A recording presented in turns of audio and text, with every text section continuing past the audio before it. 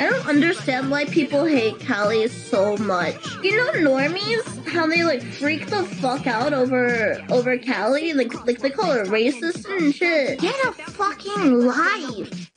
Why are you so obsessed with her? I fucking hate normies. Normies are like, dude, let's not bully people, right? Bullying is so wrong. And they'll be like, what's wrong with our school system? Our school systems allow people to get bullied. It's so fucked up.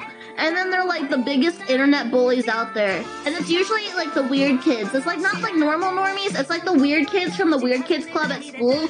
And they're the ones that were like, I hate being bullied. I get bullied so much. And they're like the biggest bullies on the internet. I'm sorry, you're so mad that someone is having fun with their life and having a successful job doing something they love.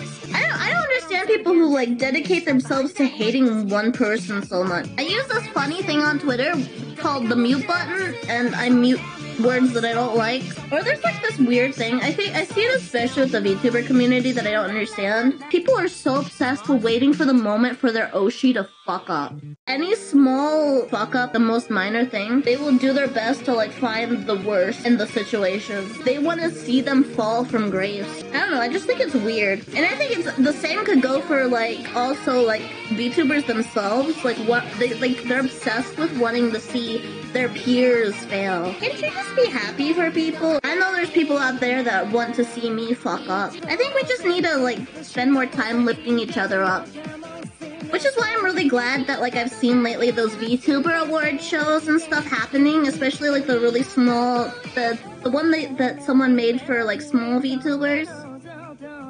I like that. I like seeing some positivity in the community. And and you know, like all things, people were mad at the person who made made the event for some reason. Like someone's always gonna be mad. It's just what matters is you just keep just keep promoting positivity.